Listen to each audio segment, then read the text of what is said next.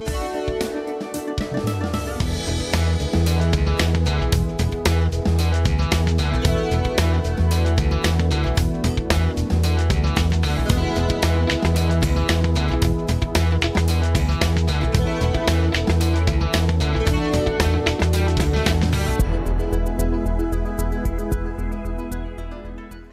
Buongiorno a tutti quanti voi, buon venerdì, venerdì 14 giugno 2024.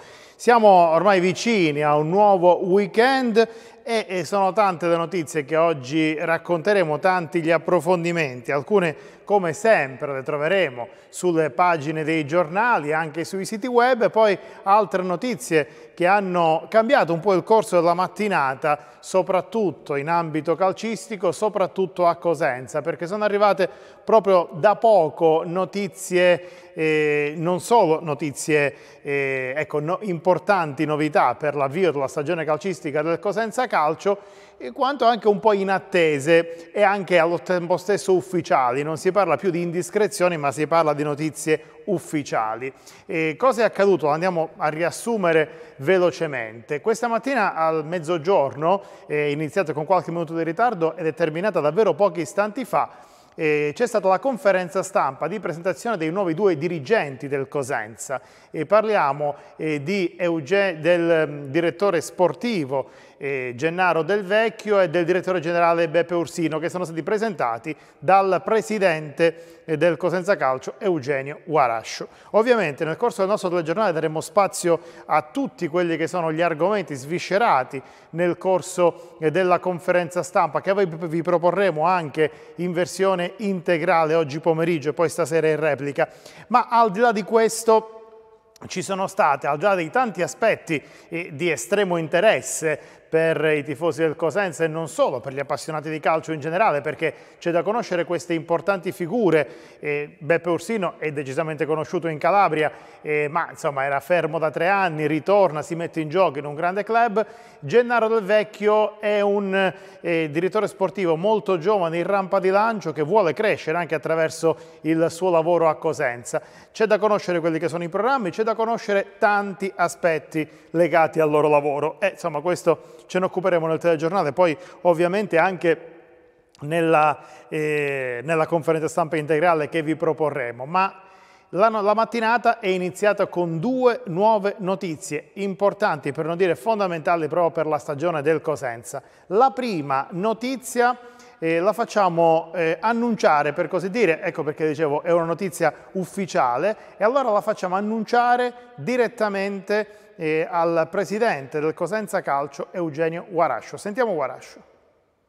Ma siamo eh, come dire, in presenza di, per me in particolare, eh, del direttore generale che è Ursino, che insomma vi confesso che questo innamoramento sta durando da circa tre anni quindi se ci sono state criticità o altro, diciamo che la colpa diamo a lui, ma faccio giusto una battuta, ma eh, comunque eh, ecco, quest'anno si è deciso e quindi questo per noi, per il Cosenza, è importantissimo.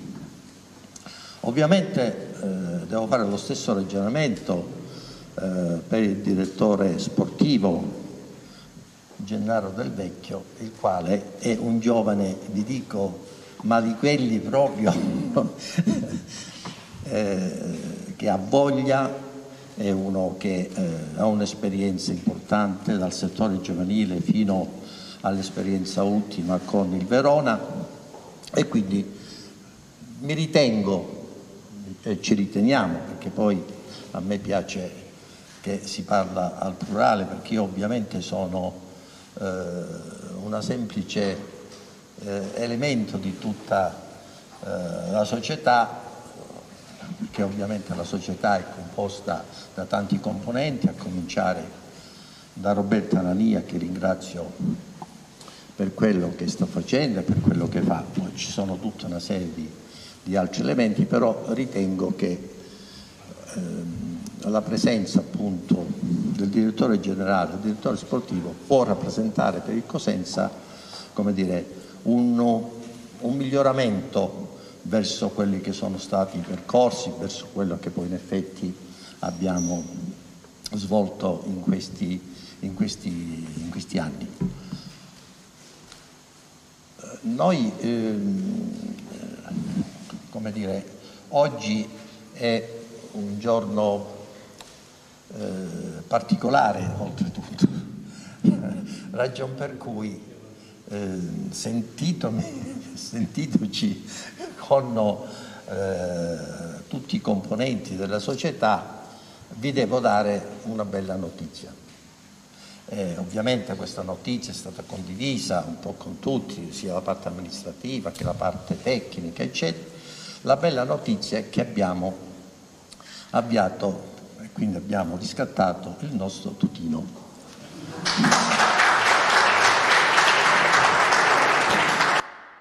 Ed ecco, questa è la prima notizia di giornata, la notizia sicuramente più importante, quella che i tifosi del Cosenza stavano aspettando, e l'aspettavano già da parecchio tempo. Tutino resterà al Cosenza, o meglio, Tutino verrà riscattato dal Parma. È stato riscattato, ha detto il presidente Guarascio, abbiamo sentito le sue parole, dal Parma, adesso si faranno dei ragionamenti. Resterà al Cosenza, non resterà al Cosenza? Eh, verrà poi venduto per capitalizzare, la somma eh, verrà sfruttata in sede di campagna acquisti, questo lo vedremo. Eh, ovviamente parola adesso a Ursino e, e, ovviamente anche a Del Vecchio, oltre che al presidente Guarascio, e di questo si è anche parlato poi in conferenza stampa. Ripeto, ne parleremo nel nostro telegiornale, poi sentirete proprio eh, sul nostro canale, sempre su TEN, eh, tutta la conferenza stampa. Dicevo più di una notizia e come si dice, in questi casi c'è chi va e c'è chi viene. E allora per un tutino che viene confermato c'è chi invece arriva e c'è chi invece va via. Chi va via? Lo sentiamo dalla viva voce a questo punto non più del presidente Guarascio ma proprio del direttore sportivo Ursino presentato questa mattina, del direttore generale, chiedo scusa Ursino, presentato questa mattina che dà una prima notizia a eh, tifosi e giornalisti. Per la verità la notizia, mentre per Tutino la notizia era nell'aria la notizia inversa, cioè molte testate avevano eh, forse frettolosamente pubblicato e anche pochi minuti prima la notizia del non riscatto di Tutino, poi Guarascio ha spiazzato tutti, Adesso invece per quanto concerne un altro eh, personaggio del Cosenza Calcio che va via, eh, qui i rumors erano quelli giusti. Ma sentiamo Ursino eh, che notizia dà ai tifosi e ai giornalisti. La cosa principale, io ho fatto sempre nella mia, nella mia vita dei passi, allora nel calcio la prima cosa è la salvezza, poi viene i playoff e poi non lo so senza illudere nessuno e senza la cosa principale prima è la categoria, che è la cosa principale. Andremo a fare sicuramente poi la squadra, perché vi voglio comunicare un'altra cosa, anche se i giornali già avete scritto. L'allenatore non è più Viali ma non è Viali e devo, siccome vi ho detto che dico la verità, devo dire la... Il nostro Presidente gli ha offerto due anni di contratto. Lui voleva due anni di contratto e il Presidente gli ha offerto due anni di contratto. Lui ha detto di no, che non era motivato, ma ognuno prende la sua strada. Però bisogna dare atto alla società che ha fatto di tutto per confermarlo. Eravamo d'accordo tutte e tre, come al solito, perché le decisioni si prendono insieme e lo volevo dire per, per correttezza, per correttezza.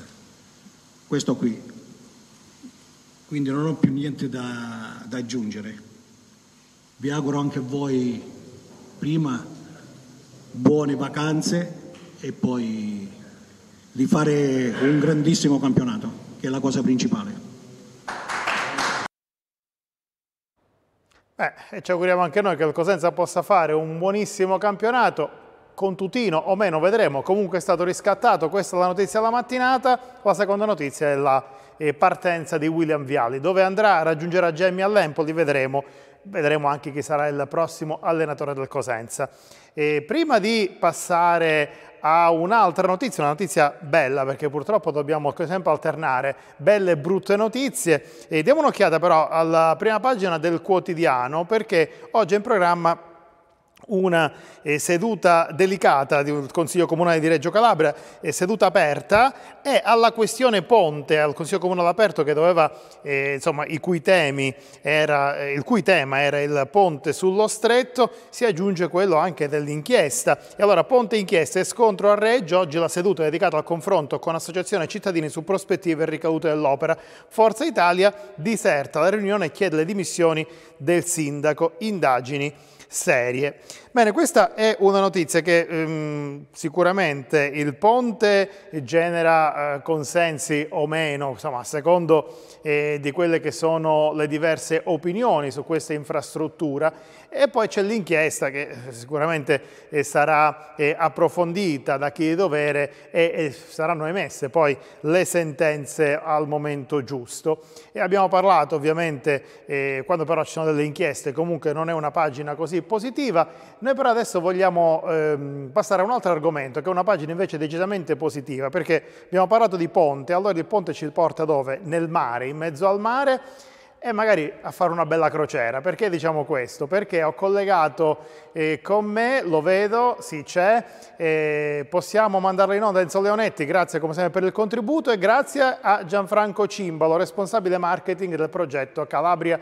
da Mare. Benvenuto Gianfranco. Salve a tutti, grazie per l'invito. Allora, perché parlavo di crociere e perché parlavo di un bell'argomento? Perché eh, all'interno di una crociera mm, che si svolgerà nel mese di ottobre fra le isole greche ci sarà tanta Calabria. Perché questo lo chiedo? Cosa significa? Tutto ciò lo chiedo a Gianfranco. Beh, Calabria da Mare è un progetto voluto fortemente da Croceriamo, dal responsabile titolare Francesco Volpe in testa, eh, tende ovviamente a promuovere il territorio calabrese con tutte le sue eccellenze enogastronomiche in questo viaggio sull'MSC Divina che partirà da Civitavecchia dal 4 all'11 ottobre e andrà a toccare le isole greche e anche la Turchia. Quindi sarà un modo per parlare di Calabria durante questa meravigliosa traversata. E allora cosa accadrà Gianfranco? Spieghiamo, eh, ovviamente tutti sappiamo com'è la crociera, la crociera si viaggia di notte e ci si sposta da un, luogo a un, altro, per esempio si parte da Civitavecchia in questo caso, si va nelle isole greche, allora un giorno si visita, non lo so, Santorini, un giorno sono, non so le, le, le isole che sono coinvolte, però sono tanti i luoghi da visitare, la notte si viaggia e di giorno eh, si scende alla nave e si visitano questi posti eh, meravigliosi. Di, eh, di, notte però cosa succede? Non è che si fa tutti a, letto e tutti quanti nella propria cabina, no, ci sono spettacoli, cene. E qual è la caratteristica di questa crociera? Allora, la caratteristica è che ovviamente tutti gli ospiti a bordo avranno un cronoprogramma con le varie visite organizzate ovviamente da Croceriamo, con le varie visite dei luoghi dove appunto si fermerà la nave. Eh, la sera ci saranno dei momenti di pura Calabria, dalle sfilate dei vestiti airbrush allo show cooking dei prodotti tipici calabresi di eccellenza, fino alle serate anche in compagnia di Cece Barretta che ci allieterà con la sua musica durante questa traversata. Quindi ci saranno tanti prodotti anche calabresi, parlavi di show cooking, quindi esibizione, questi show cooking riescono a riscuotere sempre più successo, è vero? Beh sì, perché è un rapporto diretto che si ha col consumatore lo show cooking, quindi permette anche l'utilizzo della materia prima e far vedere come si può essere utilizzata o reinterpretata anche la materia prima. Ripeto, è un modo questo per parlare di Calabria in un contesto molto importante, dove, ripeto, ci saranno oh, 6.000 persone, quindi è un fattore molto importante questo. Ripeto, la protagonista sarà la Calabria. Ecco, la cosa importante, l'obiettivo è quello, cioè eh, far conoscere i prodotti calabresi alla Calabria in un contesto internazionale, perché le crociere ovviamente nelle isole greche ci va chiunque, ci può andare un, so, una statunitense, un brasiliano, un europeo di qualunque nazione, un italiano anche di altre regioni. Le crociere sono un po' un, eh, stavo per dire un porto di mare, però è la verità, insomma. Ah, eh, so, diciamo che il termine esatto, adatto, può calzare perfettamente. Allora possiamo dire che insomma, è, eh, diciamo che l'obiettivo può essere questo. Sì, è questo qui l'obiettivo principale, ovvero quello di far eh, anche creare un'attrazione turistica della Calabria. Perché, ripeto, oltre all'aspetto enogastronomico, c'è anche l'aspetto culturale e la valorizzazione dei territori da visitare della Calabria. Quello che vuole abbracciare Calabria da mare non è soltanto quindi racchiuso nella mera esposizione del prodotto, ma nel raccontare attraverso la musica, attraverso le sfilate, attraverso le esibizioni che ci saranno, raccontare la nostra cultura un, ad un target molto variegato perché non sarà un target ovviamente eh, circoscritto in Calabria, ma stiamo parlando comunque di tutta Italia e di una buona percentuale di passeggeri europei. E allora Gianfranco, io ti ringrazio per il tuo contributo e magari lunedì pomeriggio, so che c'è la conferenza stampa di presentazione di questo progetto proprio a Rende, e so che ci saranno responsabili dei vertici di, di MSC, magari chiederemo se vorranno, so, chiederemo se vorranno anche eh, coinvolgere la Calabria in alcune crociere, magari la Calabria potrebbe diventare destinazione con le infrastrutture giuste. Beh, assolutamente. Alla conferenza stampa che si terrà lunedì 17 alle ore 17 presso l'Hotel Marconi a Rende, avremo anche come ospite il sales manager eh, di MSC Crociera, eh, nel quale può essere anche un, diciamo, un monito di confronto per poter anche affrontare questo argomento, assolutamente. Grazie Gianfranco per essere stato con noi, buon lavoro eh, in vista di questo progetto che promuove la Calabria. Noi andiamo avanti, andiamo avanti con, eh, abbiamo visto prima velocemente l'apertura del eh, quotidiano del Sud, dobbiamo dare un'occhiata però anche all'apertura di Gazzetta con un qualcosa che insomma eh, ci piace fino a un certo punto, ovvero questo titolo, che è il titolo che caratterizza, non che non ci piace il titolo, non ci piace l'argomento ovviamente, eh, un titolo che eh, ricorda quelle che sono anche le difficoltà della Calabria, economia con il fiatone. Potere d'acquisto in calo, ne risentono consumi e commercio. Rallenta la crescita, questi i dati che vengono fuori dall'analisi di Banca Italia che evidenzia le difficoltà di una Calabria che invecchia. Le dinamiche demografiche negative pesano sul futuro economico e sociale della Calabria e questo è il dato più rilevante che emerge dall'analisi dell'economia regionale condotta alla Banca d'Italia per il 2023 presentata nella giornata di ieri a Catanzaro. Dai dettagli dell'indagine sull'andamento dell'economia pubblica e privata in regione si evince un un sostanziale rallentamento della crescita rispetto al 2022, più 0,6 rispetto al precedente 3,2. Dall'analisi Banca Italia su dati Istat, la Calabria tra il 2007 e il 2022 ha perso il 5,9% della sua popolazione residente, peggio che nel resto del paese del Mezzogiorno. Una popolazione anziana e l'emigrazione giovanile determinano la scarsa natalità e la mortalità più elevata, con effetti negativi in prospettiva e sul tasso di nascita e crescita anche delle nuove imprese. Il commercio ha risentito la riduzione del potere di acquisto che ha determinato un rallentamento dei consumi delle famiglie. E questa è un'altra notizia interessante, appunto quella dell'economia. Banca Italia ovviamente eh, sono tanti i dati, qui ne abbiamo visto eh, alcuni, altri li andiamo a scoprire direttamente dalla voce appunto dei dirigenti di Banca Italia perché l'incontro si è svolto a Catanzaro, lo abbiamo seguito e c'è anche qualche dato, possiamo dire, positivo. Sentiamo. L'economia calabrese nel 2023 ha registrato una crescita dello 0,6%, mm, stimiamo sostanzialmente di poco inferiore alla media del mezzogiorno e ovviamente più contenuta della media dell'Italia. Si rileva che nel, nel complesso diciamo, l'economia continua ancora, insomma, la fase di recupero avviata dopo la, la, la, la crisi della, della, pandemia e siamo per molti versi su molti aspetti su livelli anche già superiori rispetto ai valori pre-pandemici. Eh, la, il fatturato delle imprese è cresciuto anche se in misura più contenuta rispetto all'anno precedente, eh, soprattutto eh, ha rallentato il settore dei servizi, eh, ancora bene il comparto delle costruzioni. Nel settore manifatturiero registriamo una lieve riduzione dei volumi produttivi, soprattutto per le imprese di minori dimensioni. Dal lato delle famiglie eh, sicuramente diciamo, l'aumento che pure c'è stato nei livelli occupazionali ha favorito un mantenimento di, buoni, eh, di, una buona crescita del reddito disponibile che comunque è ancora inferiore rispetto alla crescita del costo della vita per la fiammata inflazionistica che si è avviata nel 2021, ma nel corso del 2023 la, le tensioni inflazionistiche si sono andate via via eh, riducendo e eh, questo diciamo, lascia ben sperare soprattutto per le prospettive. Sul fronte del, dell'occupazione, al di là dell'aspetto positivo della crescita dell'occupazione che registriamo, eh, ci sono le dinamiche demografiche che sicuramente sono un aspetto importante su cui dover riflettere per il futuro. La popolazione negli ultimi vent'anni in eh, Calabria si è ridotta, questo si, questo si, riflette anche sulla partecipazione al mercato del lavoro. Eh, oltre a un invecchiamento della popolazione incide anche eh, un saldo migratorio interno negativo, sono mh, mm, persone che vanno via dalla Calabria, molte di loro sono giovani e in particolare anche istruiti. Questi aspetti sono aspetti da tenere presenti.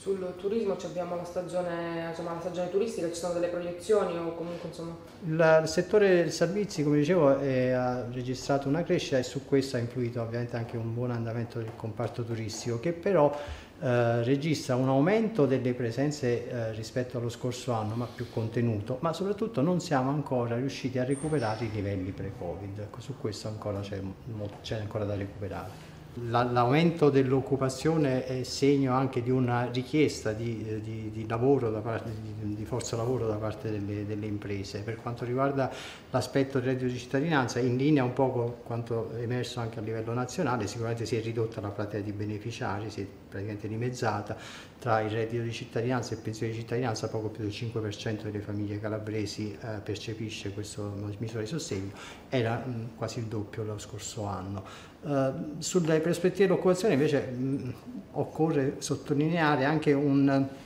un disallineamento che spesso che, che rileviamo tra la tipologia di eh, lavoratori richiesti dalle imprese, molto soprattutto in lavoratori qualificati in discipline anche scientifiche, e l'offerta di lavoro che non sempre è in grado di corrispondere alle richieste della domanda. Ecco, questa, su questi aspetti le politiche attive sul lavoro possono contribuire a rendere sempre più allineato quelle che sono le esigenze delle imprese per la manodopera di cui hanno bisogno e l'offerta di lavoro disponibile in regione. Bene, questo è il rapporto anche di Banca Italia, i dati calabresi decisamente importanti, politica nazionale e internazionale, il G7, troviamo anche questo argomento sulle pagine di Gazzetta del Sud, al G7 patto per l'Ucraina ma sparisce l'aborto, la prima volta di un Papa, accordo sugli asset russi, 50 miliardi di aiuti a Kiev. Italia, la parola implicita, Biden e Macron molto critici, oggi 10 bilaterali per Bergoglio. Eh, insomma anche un'altra giornata importante sarà quella in Puglia del G7. Poi ancora eh, a proposito di eh, politica, l'orgoglio intanto della Premier e la padrona di Casa Meloni, il vertice dà risultati, ma a proposito di politica il clima resta tesissimo in Parlamento. Premierato, le opposizioni abbandonano l'aula del Senato, martedì protesta in piazza e poi per i gravi episodi di mercoledì sanzionate alla Camera anche i calabresi Furgiuele e Stumpo. Qui un'altra immagine eh, della giornata di ieri in, a Montecitorio. E poi ancora, anzi a Palazzo Madama, eh, nella sede del Senato. Verso le elezioni, Francia, caos nella destra, Maréchal non si candida, stiamo parlando della nipote di Marine Le Pen. E poi ancora altre notizie che riguardano eh, l'Italia, la tregua olimpica, la domanda eh, a Mattarella, chi scatena la guerra è ottuso.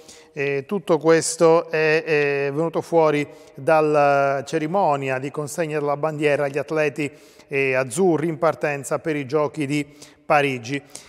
Oggi iniziano gli europei di calcio, di calcio abbiamo parlato ovviamente, eh, troviamo tanti titoli sulle prime pagine dei giornali, ovviamente domani si parlerà molto di Cosenza nelle pagine dei giornali calabresi, oggi si parla di europei ma domani se ne parlerà ancora perché domani ci sarà l'esordio dell'Italia alle 21 contro l'Albania, questa sera parte invece con la Germania eh, che è paese ospitante. Il paese ospitante come sempre apre la rassegna e poi domani il debutto dei campioni in carica perché l'Italia deve difendere il eh, titolo eh, vinto nel 2021, ricorderete spostati di un anno gli europei a causa del Covid. I tedeschi affrontano la Scozia, la squadra del CT Spalletti attesa dall'insidiosa Albania. E poi c'è il Sanremo di Carlo Conti, torna alla doppia gara Big nuove proposte stop alle maratone. Questo è il nuovo festival di Sanremo.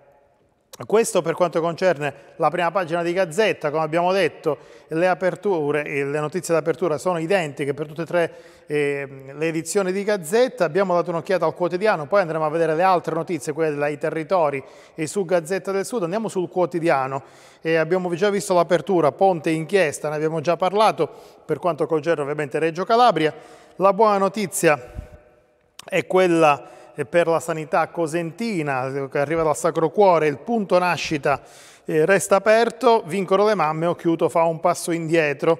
L'avvertenza Bramo, proposta troppo confusa, il sindacato ha respinto la cessione di ramo eh, d'azienda, abbiamo già eh, fatto riferimento e ascoltato anche eh, le parole, le dichiarazioni sul report Banca Italia, leve crescita nel 2023 ma la fuga dei cervelli condiziona il futuro dell'economia. Calabresi da record nel Comasco, alcune storie elettorali trovate all'interno delle pagine del quotidiano.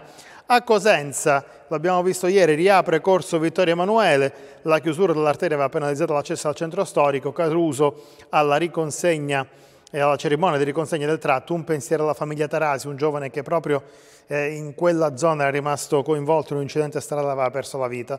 Montalto, chi entra in consiglio? Le due ipotesi, a secondo di chi vincerà, mentre eh, Pasquale Straface ha fatto sapere che eh, manterrà il seggio in eh, consiglio comunale, eh, pur essendo consigliere regionale, eh, resterà comunque anche eh, a sedere nel Consiglio Comunale, ovviamente nei vesti dei leader dell'opposizione, avendo perso le elezioni eh, comunali, lo ricordiamo a, a Corigliano Rossano, ha vinto Flavio Stasi. E non c'è del resto incompatibilità fra il ruolo di consigliere comunale e il ruolo di consigliere regionale, quindi può restare Pasqualina Straface anche eh, in Consiglio Comunale. Noi ci fermiamo per la nostra consueta pausa, ritorniamo dopo con altre notizie, quelle dai territori, altre pagine interne, il web, tanto altro, quindi state con noi, ci troviamo fra pochissimo.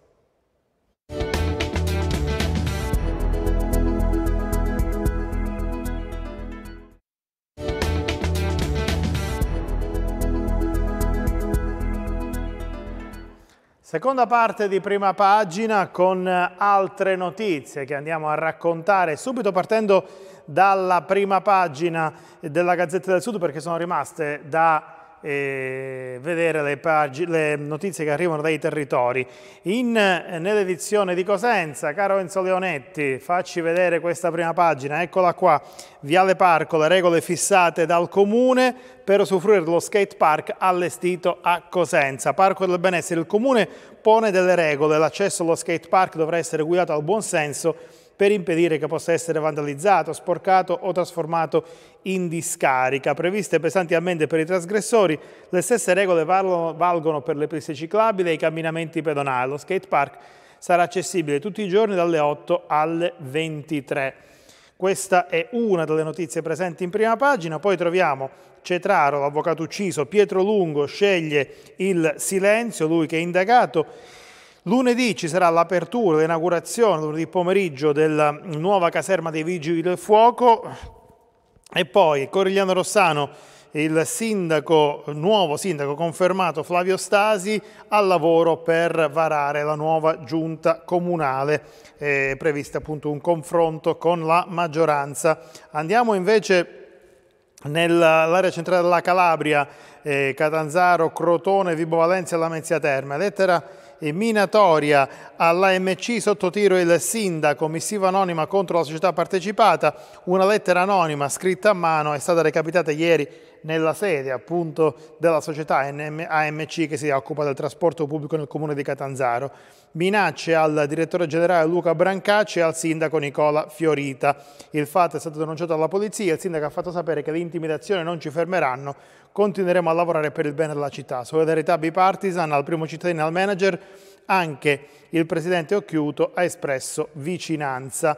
E poi le altre notizie dell'area centrale della Calabria, comune, la verifica apre nuovi scenari e si rivede Tallini, Cosentino e Romeo si va verso il ballottaggio a Vibo Valencia. Alla ricerca di intese con l'area del centro che ha ottenuto circa il 28% dei consensi, quindi un buon bottino eh, per chi si aggiudicherà quei voti. Vertenza Bramo Customer Care, i sindacati bocciano la cessione, una proposta fumosa e confusa, non convince quindi questo eh, piano Andiamo avanti andando sulla prima pagina della Gazzetta del Sud, edizione di Reggio Calabria, Drangheta e voti, palazzi tremano, nuovamente, cioè, cioè, si precisa su Gazzetta, l'inchiesta ducale reinnesca lo scontro politico-giudiziario, nuovo terremoto politico a Reggio, con l'attenzione puntata a Roma eh, l'inchiesta ducale tra gli indagati il sindaco Falco Matà e il capogruppo del PD in Consiglio eh, Comunale Giuseppe Sera e il capogruppo di Fratelli d'Italia in Consiglio regionale Giuseppe Neri. Eh, si alza quindi la tensione a Palazzo San Giorgio. La maggioranza solidarizza col primo cittadino, l'opposizione chiede dimissioni e Forza Italia, chiedo scusa, e Lega oggi diserteranno, diserteranno il Consiglio e parlano di ipocrisia.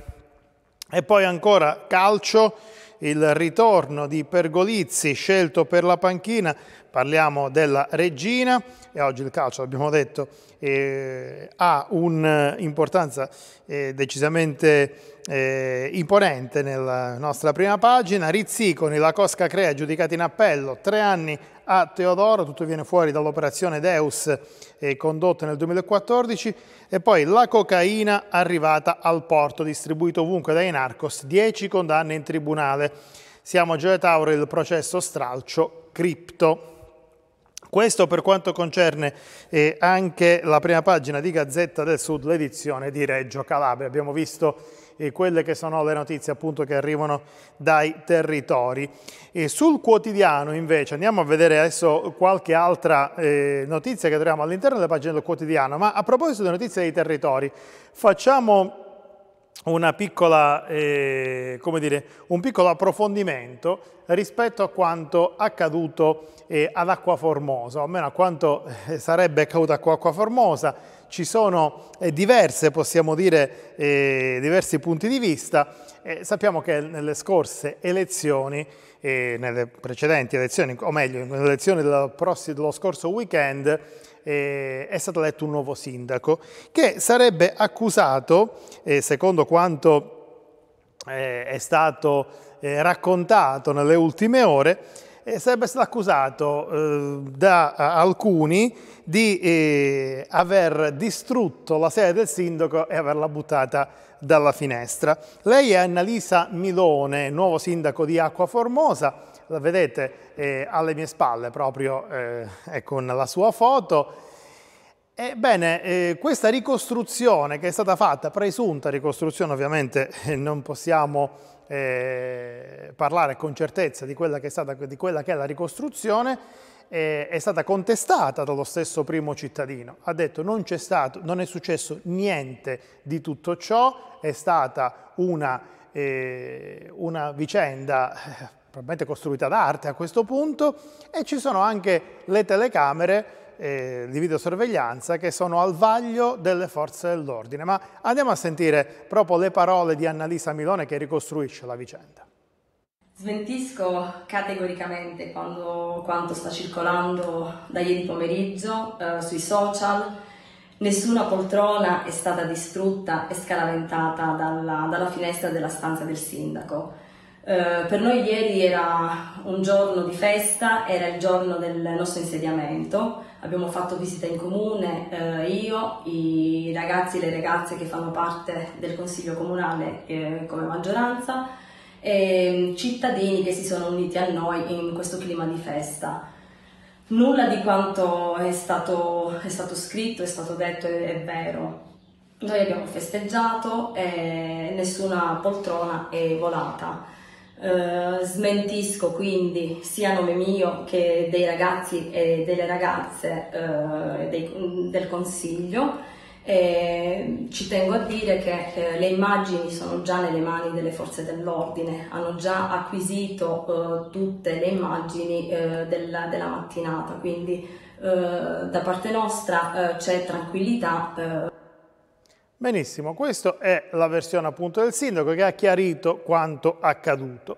A proposito di notizie dai territori, andiamo nelle pagine interne del quotidiano per andare a dare un'occhiata a quelle che sono altre notizie. E ancora il Consiglio Comunale aperto del, eh, di Reggio Calabria che si incrocia con le vicende eh, del, della nuova inchiesta. E poi sull'inchiesta ducale anche l'ombra della massoneria, scambio di appoggi e di favori. Il quotidiano diciamo che è mm, studiato, sta studiando l'ordinanza, evidentemente parliamo eh, dell'inchiesta che ha portato, lo ricordiamo, all'esecuzione di 14 misure cautelari. Calabresi da record nel Comasco. La sindaca rieletta al terzo mandato è di Monasterace e non è la prima.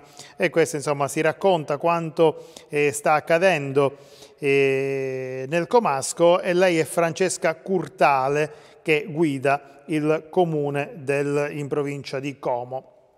I nostri candidati sono un progetto politico, i festeggiamenti diciamo, di Alleanza Verde e Sinistra che festeggia il eh, proprio risultato straordinario, probabilmente eh, superiore alle attese.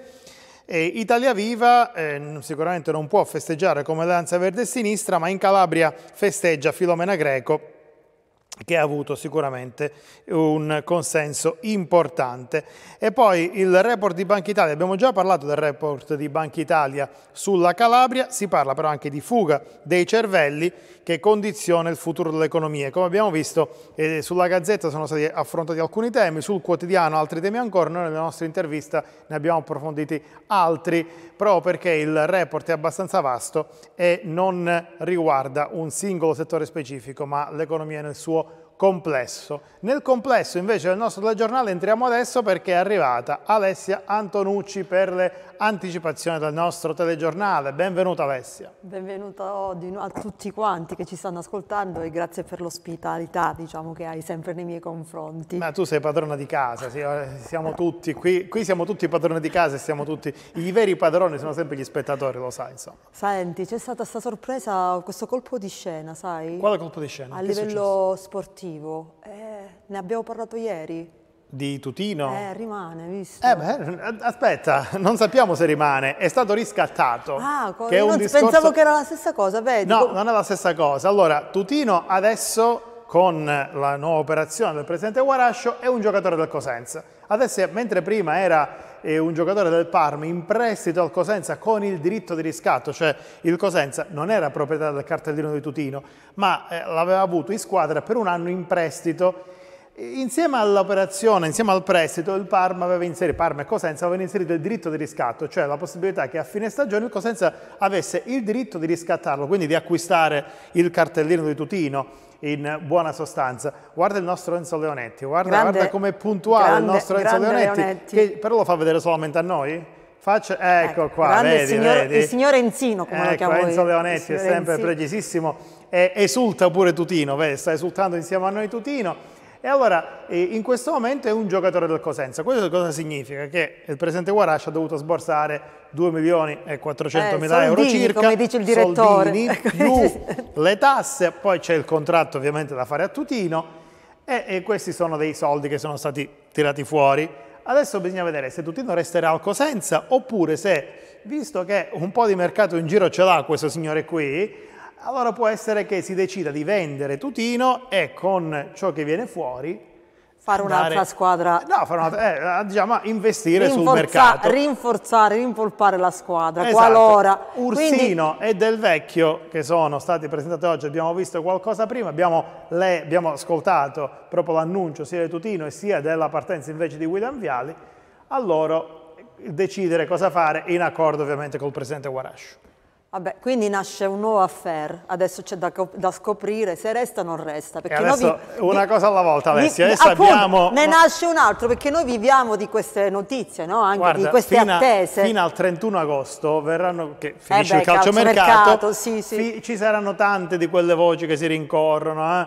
E tante di conferme, smentite. Poi non appena finisce il calciomercato, cioè il campionato nel frattempo è già iniziato, quindi avremo sempre di che Sarà discutere. sempre un tiro e molla. Sì. Vado in un ambito che mi è più familiare, ossia l'agricoltura. Ah, io pensavo che parlassi ancora di calcio. Ah, vogliamo parlare... Sai che ho trovato una notizia interessante? Scommetto che hai trovato questa notizia qua, guarda, ce l'ha alle spalle. Eh, io sono miope, dico agli spettatori, Vabbè, quindi ho girato. L'Ingolstadt si affida a Sabrina Whitman, prima donna ad allenare i pro in Germania. L'Ingolstadt è una squadra professionistica eh, tedesca ed è questa la notizia, Eh, giusto? Certo, finalmente una donna che in Germania riesce ad- a sedere in panchina e a guidare una squadra di professionisti. Non era mai successo, quindi eh, sfido chiunque a cominciare a dire che non sappiamo fare neanche il calcio, non sappiamo Allora, neanche Oh, le allenare. donne stanno prendendo piede del calcio e vuoi un'altra dimostrazione?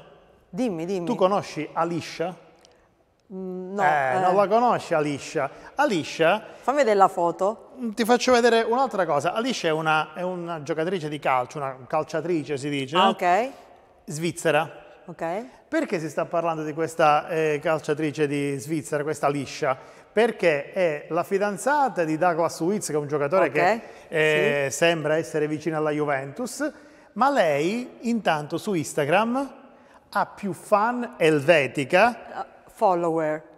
più follower, ok, di Roger Federer, di Sua Maestà, direi Roger, cosa improponibile. Eccolo qua, infatti, vedete? Ma guarda quanto è bella. Sì, è una bella ragazza. Eppure sicuramente. brava, sicuramente sarà anche brava. Allora, non la conosco da un punto di vista tecnico, posso assicurare che è una bella ragazza, 16 milioni di follower.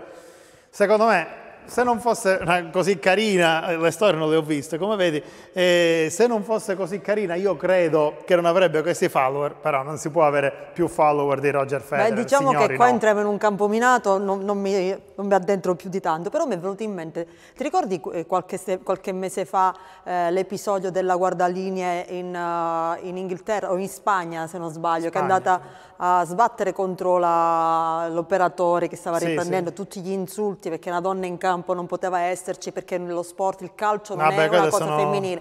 Quindi io sono felice della, eh, di questa squadra dell'Ingolstadt in Germania che finalmente ha una donna e ne verrebbero, cioè, Quindi- c'è bisogno che ne vengano anche altre. Quindi la domenica si può fare che cosa? Eh, è, è arrivato Tutino, non so perché è Andare- arrivato no, Tutino, perché. Ingolstadt l'ha associata a Tutino, Ecco, signor ok, Enzi. ecco, ancora qua, Tutino. cioè, Enzo Lorenzi si sta divertendo oggi a esultiamo. mandarci Tutino. La domenica, quindi, da in poi si può anche pensare al calcio. Anche le donne devono pensare al calcio. Io, io sono una tifosa, o quindi... andare a messa. No, mm, ah, guarda, Ecco qua, perché c'è un'altra ieri ti notizia che- racconto un episodio nella mia chiesa, l'avevo raccontato questo episodio? Sì? Praticamente il prete, il mio prete, che sicuramente adesso mi lincerà o non mi confesserà più, ha fatto una, un'omelia un po' lunga e io ho detto guarda che se lo dico a Papa Francesco... perché- Vedi? Secondo Papa Francesco l'omelia dovrebbe durare meno di 8 minuti. Prendete esempio anche meno, altrimenti i fedeli dormono. Ed è vero, perché sono poi spesso parole ridondanti e quindi ha ragione Papa Francesco. Papa Francesco che la domenica guarda il calcio, perché è un grande appassionato di calcio. Papa Francesco pensa che il giorno in cui è stato qui a scomunicare i mafiosi, poi è ritornato in tempo per vedere Argentina-Iran, eh, per vedere i minuti finali, il gol di Messi perché c'erano i mondiali. Lui che è un grande tifoso del San Lorenzo di Almagro, Sì, squadra argentina, che subito dopo la sua elezione a Papa ha vinto prima il campionato argentino, a suo tempo era un torneo iniziale, apertura e clausura, ha vinto il torneo iniziale, il torneo d'apertura, e poi ha vinto la Coppa Libertadores l'anno dopo, l'unica volta nella storia che ha vinto, quindi insomma ha portato bene al San Lorenzo. Vedi, vedi? E pensa che si racconta anche che Papa Francesco, e poi andiamo ai titoli del telegiornale, eh, parla- eh, giocò con Alfredo Di Stefano quando erano ragazzini, questo lo racconta Di Stefano, quando erano ragazzini Di Stefano era il più bravo del quartiere a Buenos Aires, ovviamente giocavano, si giocava in strada e fra quei bambini, dice Di Stefano, c'era anche Orge Bergoglio che giochicchiava Poi ha a calcio da ha- bambino. Ha, che scelto sono- un'altra carriera. Eh, diciamo che è andata anche bene. Là non lo supera nessuno. che cosa momento. c'è nel nostro Dicevo, calderone? c'è l'agricoltura perché eh, ci sono i cinghiali che stanno invadendo le colture, i campi, gli agricoltori sono proprio mm, in ginocchio, non sanno più come farla, come superarla questa situazione e il 18 a Cosenza, a Vagliolise, ci sarà una manifestazione indetta da Coldiretti, però nel frattempo la giunta regionale ha approvato una- la delibera eh, per quanto riguarda appunto il piano di contenimento dei cinghiali, praticamente dovrebbe eh, attivarsi, non si sa quando, ma si spera a breve, ehm, appunto questo piano per abbattere o quantomeno contenere i cinghiali. Pensa che in Italia Nell'anno scorso sono stati censiti 2,3 milioni di cinghiali in Italia, 2,3 e hanno fatto circa 200 milioni di danni all'agricoltura italiana. Non, mh, mm, guarda, nel mio paese si circolano anche i cinghiali, sto a mare, cioè circolano ovunque, nei pascoli, eh, nei terreni incolti, quindi bisogna prendere delle decisioni e questo sarà al centro di, una, di un servizio. E poi la ciclabile arrende, eh, tu ne sai qualcosa visto che hai seguito questa sì, parte? Sì, l'abbiamo seguita già in passato e sono iniziati i lavori, la protesta dei commercianti. Seguite il nostro giornale perché non abbiamo molto tempo purtroppo adesso per poterla approfondire, ma fra poco ne parleremo. E poi i migranti, i migranti come dicevamo quella volta, che, eh, la volta scorsa che ci siamo visti qua in uh, rassegna, che sono una grande opportunità, se ne, è, se ne è parlato a, Casali, a, Celico e a Casali del Manco in, uh, nella comunità Il Delfino. Quindi questo eh, sarà all'interno del nostro TG insieme ad altre notizie eh, che eh, vi proporrà eh, la redazione eh, condotta e capitanata. Insieme al calcio. insieme al calcio, abbiamo detto prima di e poi il calcio sarà protagonista anche nel pomeriggio. Ah dai, dimmela tu questa notizia. Alle 16 la conferenza stampa. Ah è vero, sì la sì. La conferenza stampa del eh, Cosenza Calcio alle 16 la potrete seguire qui su Ten. Quindi a tra poco con il direttore Attilio Sabato e con tutta la redazione per i nostri TG. E allora grazie Alessia per essere stata con noi come sempre. Io ti saluto e saluto tra virgolette l'informazione calabrese con questa notizia, anzi con, questa, con la notizia di questo appuntamento. Inaugurazione della mostra, eh, Luigi Greco presenta la mostra di pittura Briganti, l'inaugurazione della mostra è prevista per sabato 15 giugno, cioè praticamente nella giornata di domani, alle ore 17.30 al convento San Francesco di Paola di Casai del Manco, precisamente in località eh, Pedace. La mostra sarà presentata dal professor Flavio Nimpo e da, e da Vincenzo Napolillo, questi due docenti che presenteranno la mostra Briganti, mostra di pittura. Bene, questo è anche un altro interessante appuntamento che siamo andati a, eh, volentieri a raccontare. Adesso chiudiamo, eh, come spesso accade, con il web, con le notizie che arrivano dal web, notizie della mattinata. Andiamo su repubblica.it, ecco ci siamo. E ovviamente non si può non parlare del G7 e nel G7 non si può non parlare della eh, questione Russia-Ucraina. Putin rilancia mentre il G7 prepara l'aiuto a Kiev, cessa del fuoco se l'Ucraina lascia quattro regioni filorusse occupate. La replica, nessuna proposta di pace, è solo una farsa. L'irricevibile pace di Putin, Mosca dette le sue condizioni alla vigilia del vertice in Svizzera. E poi a proposito di questo vertice del G7, il vertice dei grandi della terra, c'è il Papa, tolta la protezione dei diritti LGBT dalle conclusioni, ma la presidenza, la presidenza italiana smentisce. E poi l'arrivo ancora di Papa Francesco in elicottero e il giro sulla golf cart con Meloni divertita. Gli scherzi fra i due prima dei dieci bilaterali. Qui ci sono appunto eh, delle foto. Draghi, sfide dell'Unione Europea richiedono inedita cooperazione tra i 27, multilateralismo e dazi per affrontare le sfide del commercio. Ilaria Salis è libera, tolto il braccialetto elettronico, ora può tornare in Italia da europarlamentare, lo ricordiamo.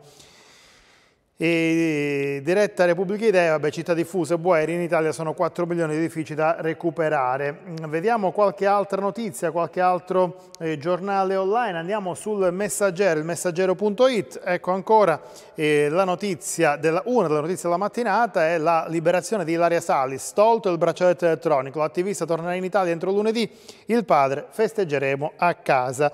Il Papa intanto scherza con Meloni, siamo ancora vivi, Italia, nessun passo indietro su diritti LGBT. Pace se Kiev rinuncia a Nato e a quattro regioni, queste invece le parole di Putin. All'Elba, al largo dell'isola d'Elba, yacht a fuoco, salvi Stefania Craxi e il marito. Eh, chi è lei? Marco Bassetti, l'ex produttore del Grande Fratello. Vedete l'immagine, ci dovrebbe essere anche il video in rete di questa imbarcazione eh, divorata alle fiamme a bordo del sommergibile Shire che dalla caccia ai russi nel Mediterraneo li staniamo con i suoni. E poi eh, chiudiamo la nostra, eh, la nostra, puntata di prima pagina con l'informazione calabrese. Andiamo su quicosenza.it, Casale del Manco, l'inserimento lavorativo dei migranti per una vera integrazione. E di questo parleremo anche noi nel corso del nostro telegiornale, ladro ucciso a coltellate, festa in carcere eh, per il 48enne arrestato per omicidio e poi le notizie relative al calcio. Il Cosenza riscatta Gennaro Tuttino, l'annuncio di Guarascio che arriva proprio in apertura della conferenza stampa di presentazione del dei due direttori nuovi, come vedete anche quest'altra notizia, ovvero Beppe Ursino che vedete sulla sinistra, poi in mezzo c'è il presidente Guarascia e Genero del Vecchio che trovate sulla destra. Parla Ursino, voglio vincere ma non dobbiamo sbagliare, voglia matta di fare bene. Queste le parole di Gennaro del Vecchio, ricorderete ex, mentre Ursino ha un passato anche in Calabria, un passato a eh, Crotone, Gennaro del Vecchio invece ha un passato in eh, Serie A, sicuramente come eh, giocatore Lecce della Sampdoria, poi insomma è stato anche eh, in vista nelle vesti di dirigente eh, nel Verona ultimamente. Bene, noi ci fermiamo qui, io vado via, restate perché c'è il nostro telegiornale, grazie, a domani, sempre alle 13.30. Buona giornata.